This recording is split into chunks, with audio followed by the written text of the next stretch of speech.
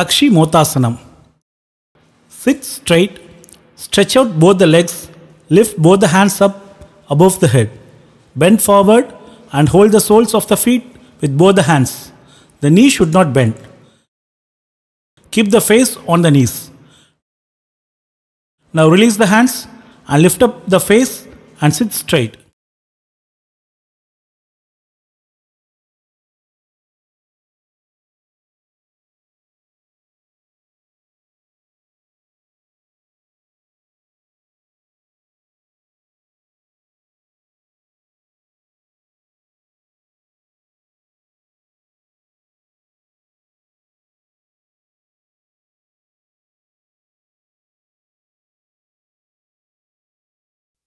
Common rules Read the rules to do yoga given in PAAR TV carefully before starting the practice.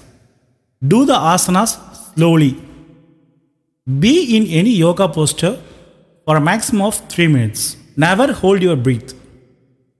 While bending forward, breathe out and bending backward, breathe in. While doing yoga, when you are in any posture, you should not hold your breath. After performing all asanas, end up with Santyasana or Yoga Nidra.